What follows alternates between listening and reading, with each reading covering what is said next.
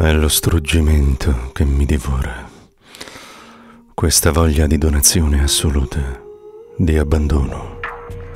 Voglia di fiati consumati o baci che sanno d'orgoglio e d'amore.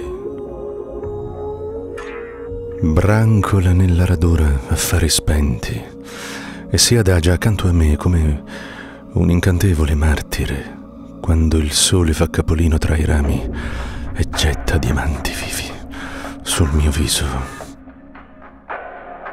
Ella mi guarda e dice, sei mio ma appartieni, non puoi fuggire. Dammi l'ultimo straccio della tua anima, laggiù non ti è più concesso andare.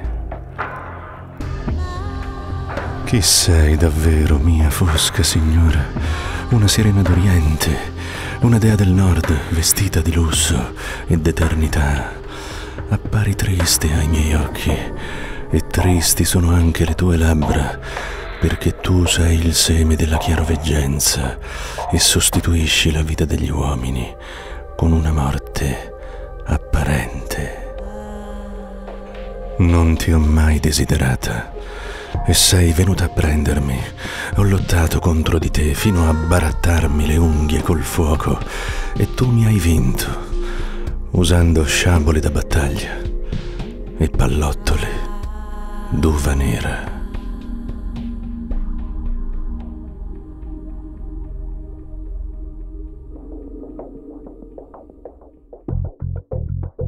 Contemplo la tua bellezza e sogno di poter attraversare il mondo che è oltre te, dove i bimbi giocano a calcio davanti alle chiese e i puritani gozzovigliano tra loro sulle panchine, dove i giornali odorano di petrolio e lacrime e i ricordi scivolano dentro colini bucati in barba al tempo.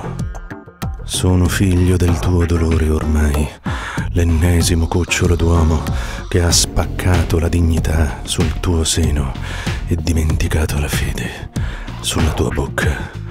Un secolo trascorso insieme e già mi sembra che l'universo sia stato creato dopo di noi, mentre l'amore camminava a braccetto con l'odio e i padri erano ancora scimmie senza cultura.